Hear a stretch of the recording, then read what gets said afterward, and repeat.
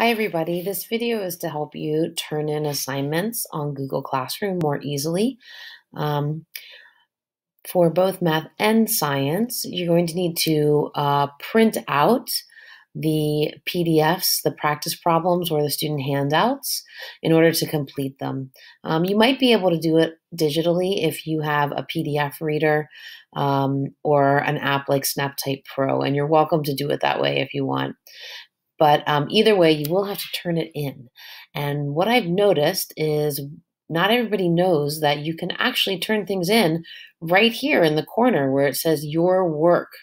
So if you go into the new math assignment called Dividing a Fraction by a Fraction, Exploring Divide Across Strategy, this is actually the first math assignment we did.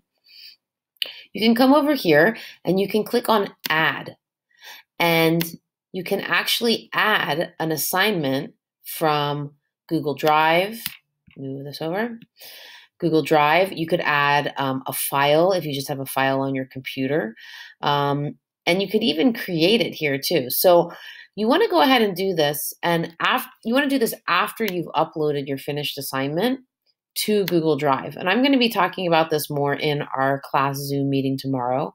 But let's say you recently uploaded the assignment that you finished, like your practice, math practice problems. You took a picture and then you uploaded that picture to Google Drive. And if you're not sure how to do that, there's another video attached to this assignment that can help you do that.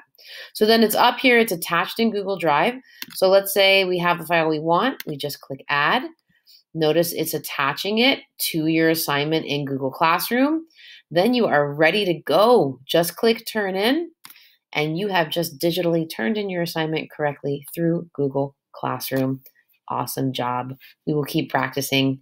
All right, happy learning.